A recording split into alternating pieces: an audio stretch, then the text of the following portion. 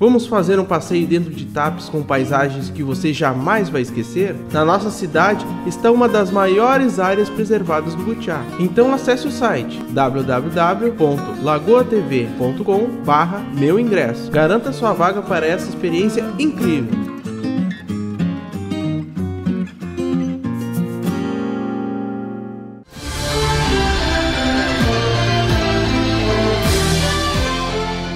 E assim, na condição de primeiro secretário da mesa que tem aqui, eu estive sempre ao seu lado, para e passo, me apoiando, enaltecendo, puxando, defendendo. E aqui o nosso reconhecimento. A sua emoção é a nossa.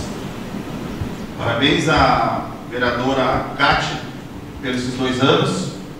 Uh, não é fácil, a gente escuta muita coisa, a gente acha que é simples, mas a gente só vai realmente saber quando a gente passar do lado de cá, né, vereadora? Então, parabéns pela condução dos trabalhos que Vossa Excelência fez durante esses dois anos. Tenho certeza que fez o seu melhor, conduziu da melhor maneira que achava que fosse para todos. Nunca pensando em si, em si, em todos nós, em toda a comunidade da vez. Exato, nos seus dois anos de, de comando dessa casa, vereadora Kátia, uh, lhe parabenizo e junto com a senhora, toda a mesa diretora, porque é uma tarefa que não, a gente sabe que não é fácil. E desejo da mesma forma sorte para o vereador, meu colega, vereador Fabiano Dumer, que faça uma baita gestão 2019 e já aproveitando o gancho para o vereador Leonardo em 2020. A ti e a toda a tua diretoria, que foi dois anos, eu acho, de muito, de muito comprometimento teu, da tua pessoa, e eu acho que o que marcou a gestão da Cátia, junto com os nós vereadores, foi a palavra diálogo. Eu acho que isso foi sempre uma coisa que nós sempre uh, buscamos, né? mesmo nas divergências, o diálogo sempre uh, foi a prevalecência dentro do nosso trabalho nesses dois anos. Então eu quero te parabenizar, parabenizar o Léo, a, a Verônica.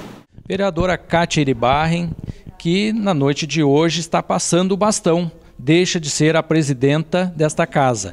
Vereadora, um pequeno balanço do que foi esses dois anos à frente da Câmara de Vereadores de TAPS. Boa noite, né? Hoje realmente é a minha última sessão ordinária que eu presido e fico até o dia 31 de dezembro, né? Mas eu acho que esses dois anos foram dois anos de muito aprendizado. Eu tive uma equipe muito maravilhosa que me apoiou muito, né? nos trabalhos da casa.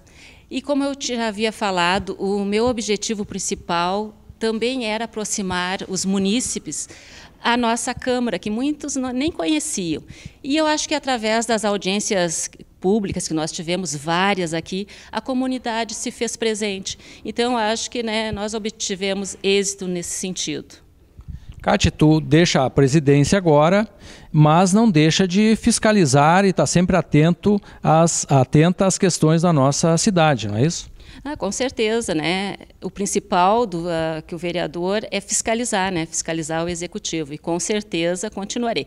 E até inclusive na presidência, quando nós somos presidentes, a gente tem que ficar mais tempo na Câmara. E eu acho que isso até nos prejudica um pouco. Então, a partir do ano que vem, eu quero fiscalizar, eu quero ir para as comunidades, conversar, né?